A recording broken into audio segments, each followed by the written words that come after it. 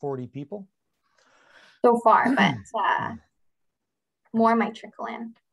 Yeah, 46. Yeah. Hello, everyone. We're just going to let everyone uh, get settled in and turn on their audios before we start.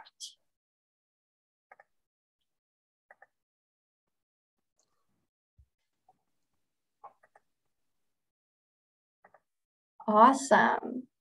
So hello, everybody. We hope you've been enjoying our day of education so far. So now it's time for our last education presentation of the day, presented by our very own Mark Eversfield, who is our market research analyst at Small Business BC. So before we start, a couple of housekeeping items. Um, I'd just like to remind everyone that after Mark's presentation, we will have a breakout session where Mark can answer any specific questions that you may have. Um, if you have any general questions for Mark's presentation, you can send them in our chat. So um, there is a Q&A button on the top right of your chat. So you can pop any of your questions in there. We will address these questions in the last 10-ish minutes of today's presentation. Um, today's presentation will be recorded and we will share these recordings with you after the event. So without further ado, I'm gonna pass our final presentation of the day to Mark. Great, thanks Nicole. Everybody can hear me okay? That's wonderful. Um, yeah, welcome to the last event uh, one of the, I was telling Nicole, one of the advantages of being last is that you get to pick up on all the information that's happened in the day and you can relate it to uh, what I'm about to talk to uh, you about today. So uh, it's kind of nice. Uh, I'm going to talk to you about uh, market research in a COVID world. and I was telling Nicole there that it's totally different than your regular market research. COVID has really changed the game uh, for market research. So, what are we going to talk about today? Obviously, how COVID 19 has impacted our lives, some stats around that. It'll be primarily stats uh, driven for this. I come from economics and statistics from UVic through BC Stats, through market research firm, and uh, over here to Small Business BC. So, how has it impacted our lives? Uh, how do I research my market in a COVID world? That's both starting up and existing businesses. Uh, what are the Canadian sentiments and behaviors around uh, the pandemic uh, and how, how is that changing? We'll talk about that. that uh, buying patterns obviously have changed uh, as a result of COVID. And where are the opportunities? Uh, because when any disruption comes along, there are winners and losers. Uh, there are um, uh, disadvantages and opportunities that arise. And I'll also talk about, give you some tips and resources for market research and how to stay on top of what's happening in this ever fast changing world here. The basic, I'm going to start off with a poll question. Uh, the basic process or the basic definition of a market research is uh, the process of collecting, analyzing, interpreting data about customers, competitors, and the business environment uh, to improve marketing effectiveness. So I'm going to ask you through the chat to indicate yes or no uh, if you know the difference between primary and secondary market research. Let me know. I want to get a gauge on how sophisticated uh, you guys are for the market research and how quickly and fast I can go, or whether I should uh, be more in depth and take my time here. Okay, so how has COVID, uh, impacted our lives here? So obviously it's changed uh, the way people are living and therefore the way they consume.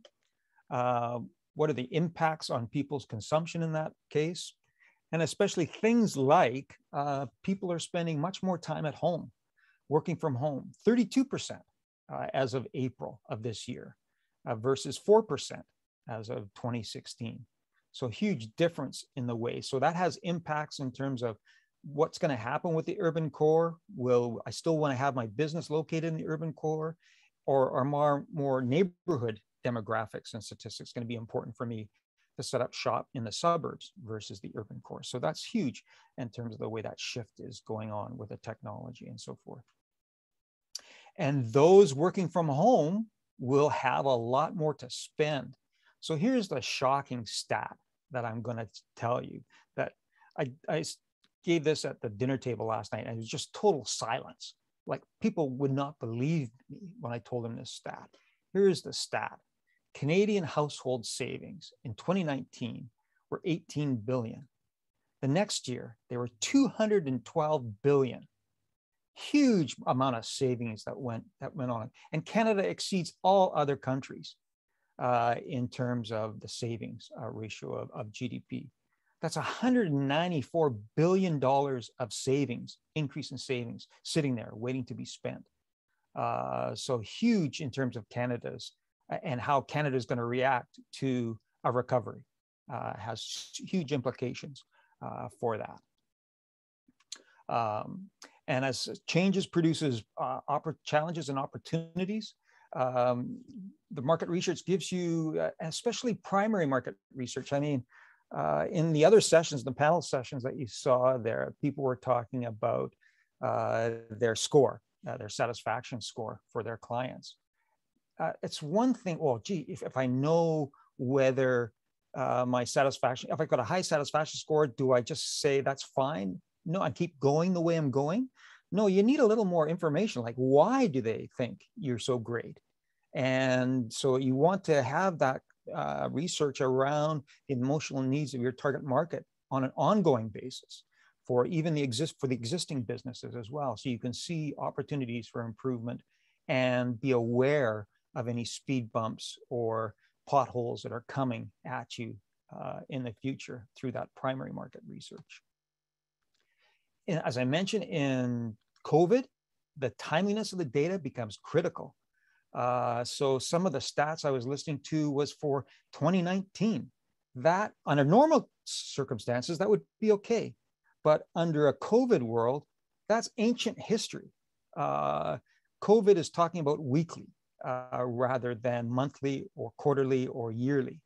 Uh, so it's huge in terms of getting the latest information uh, to get an idea of the consumer's confidence. Uh, how should I react? You know, a lot of the media talks about in the wake of COVID. Have you ever heard of a variant? Uh, I don't know what kind of wake they're talking about, as though it's in past tense. No, we're still, and we don't know what's to come down the road as well. Um, and so concerns about COVID data, as you mentioned, what happened in two weeks ago can be significant. And I'll show you some of the charts that we're talking about here. Uh, so important things to know is when the data was gathered, uh, not published, but when it was gathered.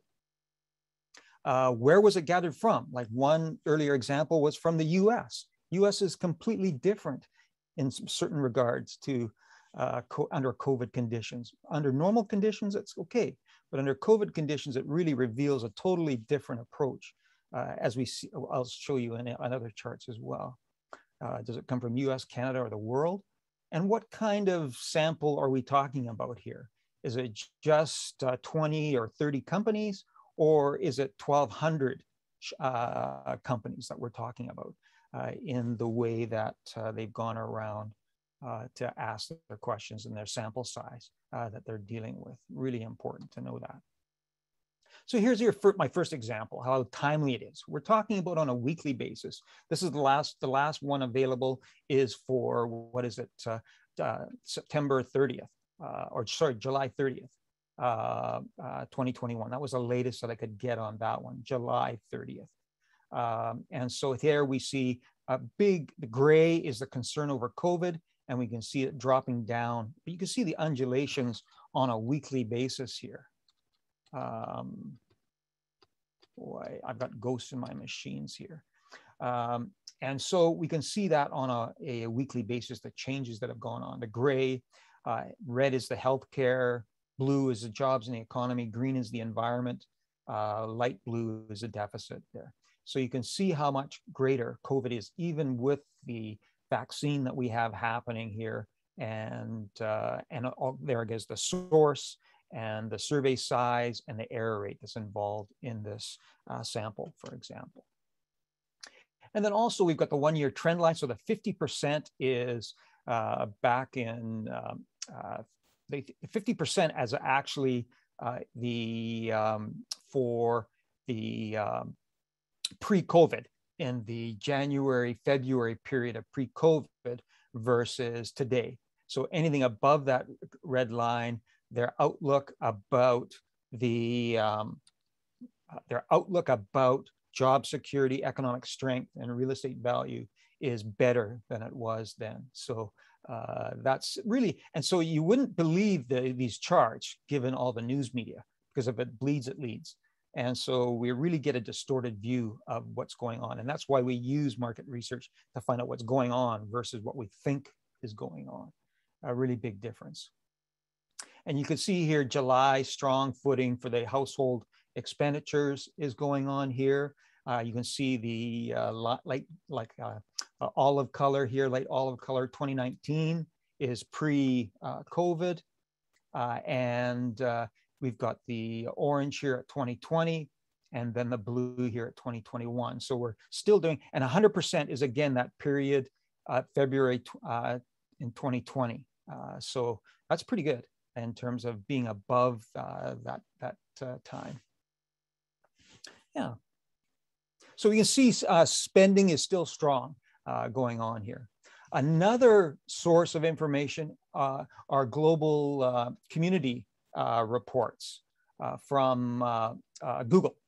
And what happens here is that on a weekly basis, they're tracking where people's phones are moving Uh, compared to the period uh, of 2019 uh, before COVID. And so we've got parks and retail recreation here for BC. This is for BC on a whole. And we can see retail and recreation is about the same now as what it was back pre-COVID. Pharmacies were, and groceries and pharmacies were, have always been up and now they're coming down a bit more than, they're coming close to what they were pre-COVID. Uh, parks are starting to come down. They were in the 150s to 200% over what uh, COVID was because people weren't going into the office. They were in their local, uh, visiting their local parks and getting their fresh air that way from their, uh, on their breaks uh, with their home. I remember or just I walked by my neighbors and they say, oh, you're you've got time off. And she goes, no, I'm just on my coffee break, you know, so getting out and, uh, and walking and visiting local parks. Um, transit stations, this is a function of getting back to work as well. You see here on the Thursdays or the Fridays, uh, uh, they're much more closer to what they were pre-COVID. And then as you get in through the week, most people are at home. So, but it's still, it's down now to minus 27%. I'll show you some changes on these different stats just within a couple months, how they change so much. Uh, and then workplaces, they're starting, used to be, they were down 50%, 100% from what they were pre-COVID. Uh, and so now they're back, they're back closer to what they were pre-COVID. And then residential walking around, they're not as much uh, walking around as they used to be, staying at home because they're now going back into the office. That was BC versus we can do look at the same stats for Metro Vancouver on the different types of uh, activities that people are getting up to and how the vaccines and the variants affect uh, these different uh, variables.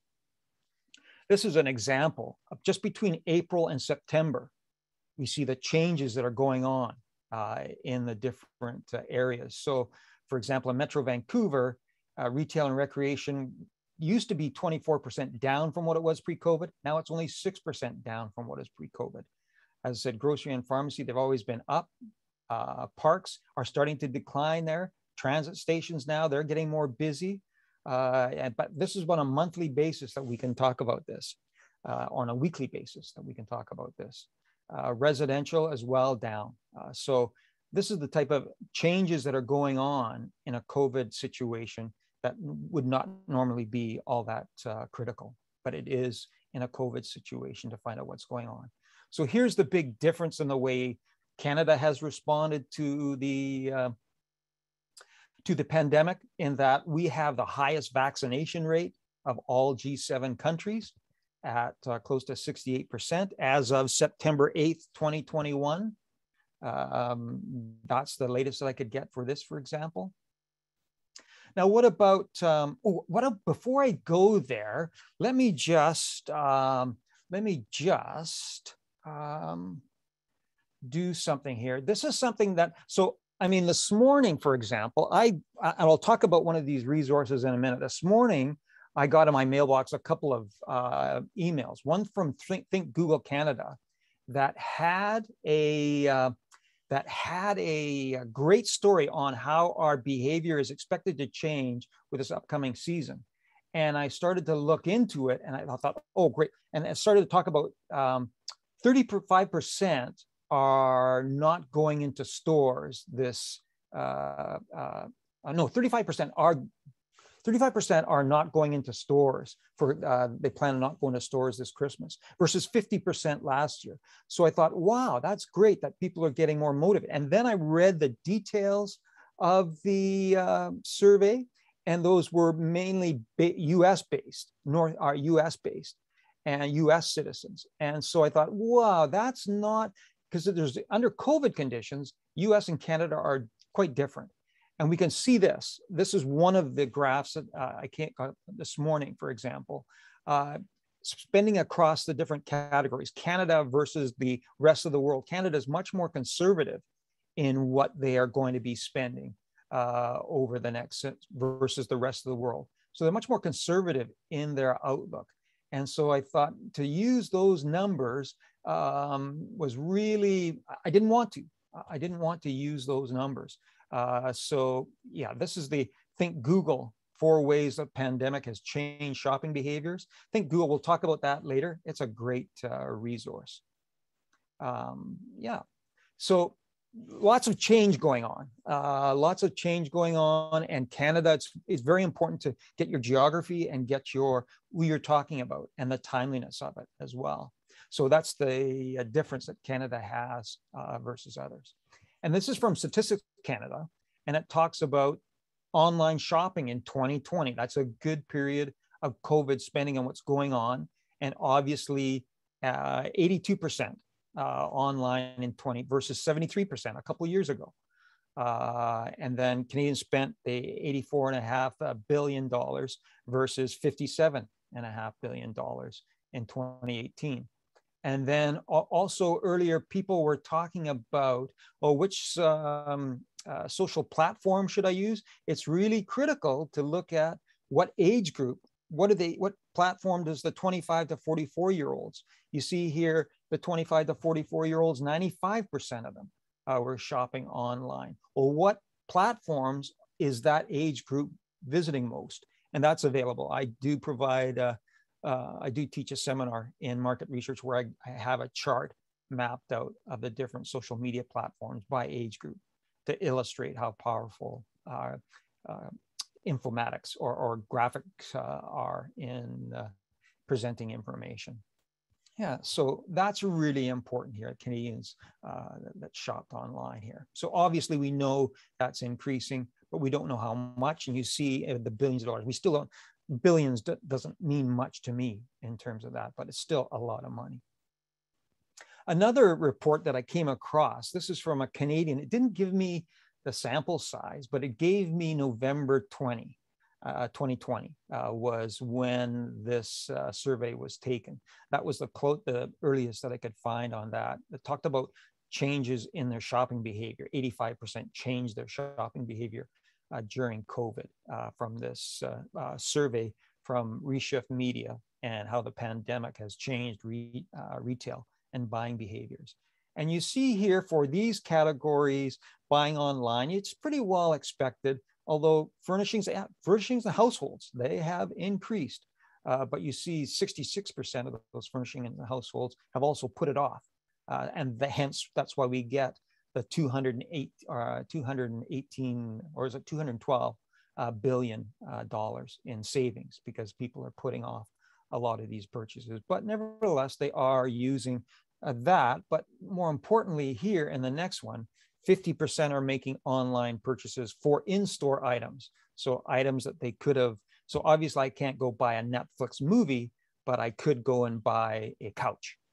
And so in that case, uh, they are 50% uh, uh, are making those uh, in store. That's a huge chunk of, of people. So for clothing, for health and beauty products, not so much for alcohol. That's alcohol and tobacco. That was an interesting one. I just saw an international study that had gone down, but in Canada, it's gone up. So it's an example of being careful of using stats because overall picture may say one thing, but the segment that you're concerned may say something different. So alcohol sales in Canada is a good idea uh, during the pandemic. Canadians are doing more at home, shopping online, obviously, um, more frequently. 51% are doing it more frequently, shopping online, or 35% are doing it more, ordering more products uh, or and online to be picked up in the store. Um, so lots of online activities, but actual numbers that you see here, uh, the amount that is being uh, shifted to online and the degree to which people are utilizing that, obviously consuming foods and drinks at home. What are they doing more at home? Obviously, baking and cooking, that was a huge one. Uh, food for ordering pickup, but going out to restaurants, uh, that's a, for about the same, but most less frequently, and some have not done this, uh, the most of, of all the categories here. Pretty obvious in that sense yeah many, most intended con- these are the uh, uh, types of activities that uh, they can tend to or they intend to continue in the future uh, 57% there 68% have tried new shopping behavior uh, now this is an older study this was from the mckinsey mckinsey was also talked about earlier and i i used to use them a lot but i mean that was back in uh, 2019 when early in the stages of COVID. That's a long, that's ancient history compared to uh, what's going on now. So you want to get a little uh, later than that.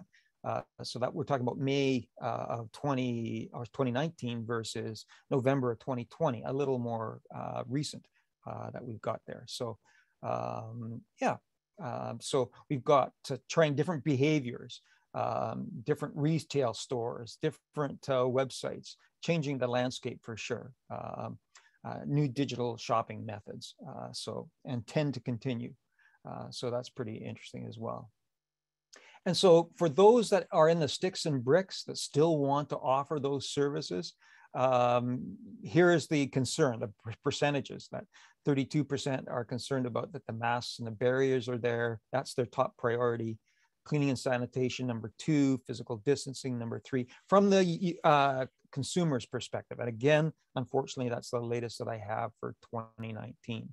Uh, store regulations and so forth. So uh, important to know uh, what the priorities are for your potential customers coming into your sticks and bricks.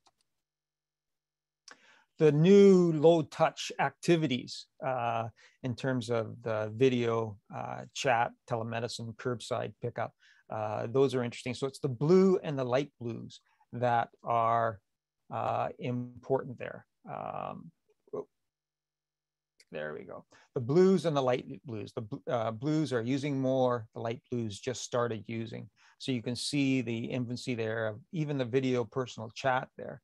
It was interesting to see how much it's grown, uh, although it was uh, pretty pervasive beforehand. You know, the, we can think about it. We had Skype beforehand.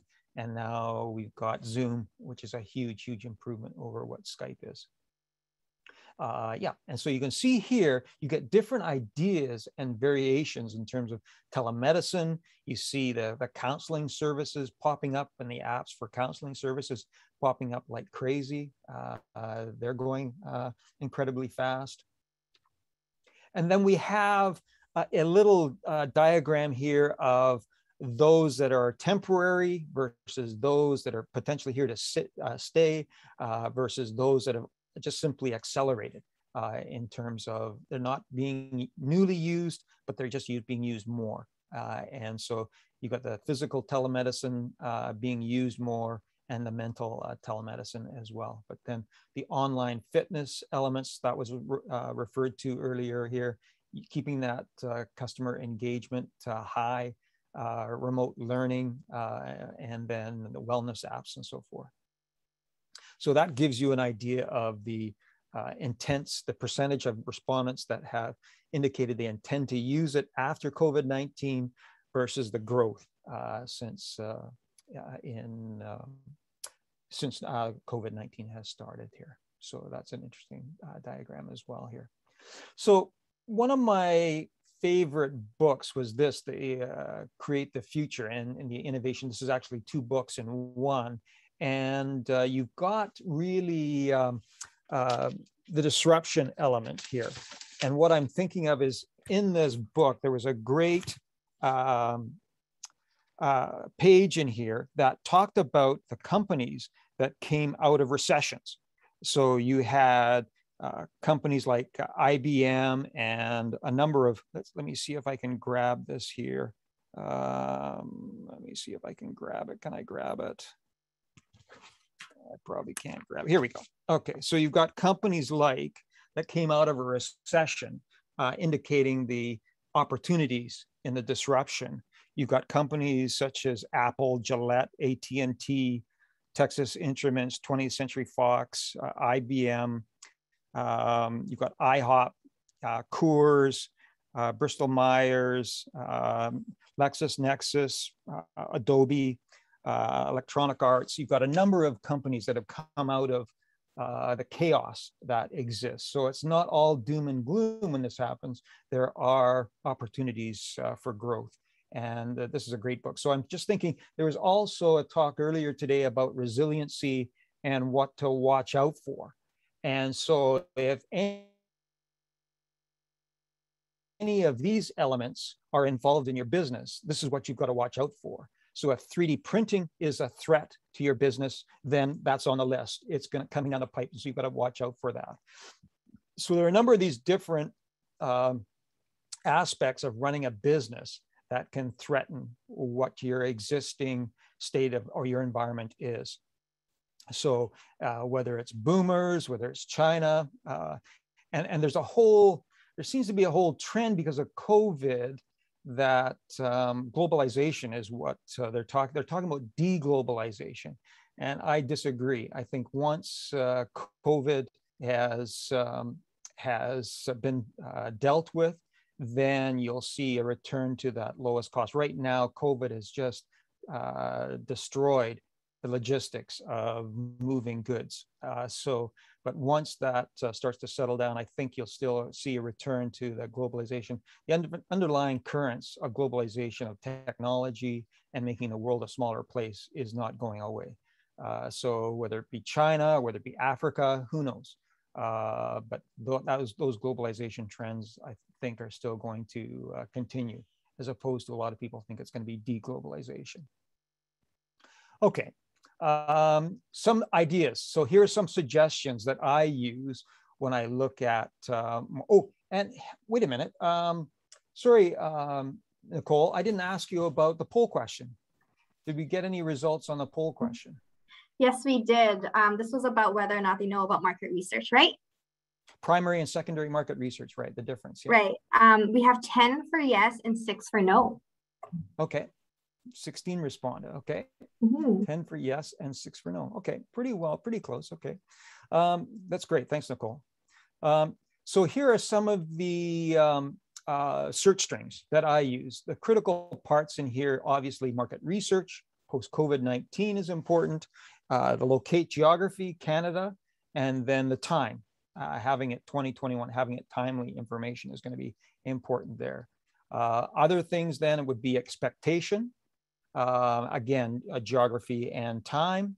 Uh, and then trend tracker is really huge in terms of getting really important results. Canadian, make sure it's Canadian, make sure it's 2021, and, uh, and COVID-19, obviously you want in there as well. So those are important search strings to use in terms of getting the type of results that are going to prove quite fruitful uh, for researching what you're doing. And not only that, so which leads me to my next poll question, um, how many people that are watching right now use Google Alerts? Uh, yes or no? Uh, let me know.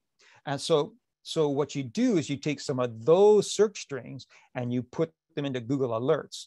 Uh, so it's an automated search tool that searches for those strings and brings back just information that has, has occurred that day on those topics. So quite often I use um, Google Alerts uh, uh, for instead of Google because it's just giving me a proxy of what the most recent information is on a particular search string. Uh, so it's very powerful in that sense. So it saves me once I've got it established and they're they're free. Uh, it keeps you current on the latest trends. Um, you can get information uh, on your target market uh, and um, on your competition and uh, what's happening in your industry. Uh, you, as I said, you can create as many search strings as you like, uh, which is important. Um, and it delivers uh, alerts to your to your email on a daily basis. So it saves you having to go out and uh, search for that.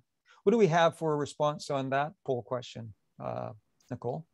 We're flipped this time, so six yeses and ten nos. Okay, interesting. Okay, okay. We don't have uh, crosstabs to make some inferences about that, but that's cool. Um, all right. Um, Good. And so uh, you know about the 10 of you know about Google Alerts and six of you don't. So uh, definitely Google Alerts is an important part. As, you, as what you'll see is as you start to use that, it'll start to evolve. Your strategy will start to evolve in terms of the topics that you want Google Alerts to be uh, keeping you up to date on. And, and that was one thing that came up earlier is that uh, you want to be ahead of the game. You do not want to be falling behind the curve.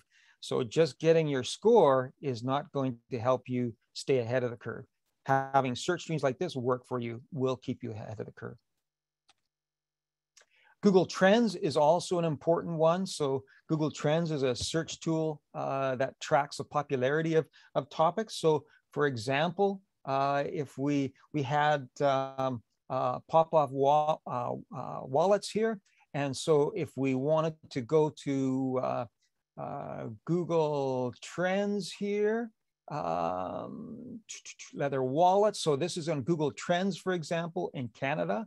So we have it over a five, I picked over a five-year period for wallets, and we can see by month, which months are the most popular in here. Uh, December 3rd to 9th is important. You can see here that some behavior, and then we see the, well, the pandemic yeah, that's the pandemic in there, uh, September 2019. So uh, we have uh, the pandemic suppressing uh, that uh, going on here. And then we got it by province. So the idea is that Saskatchewan is the hotspot.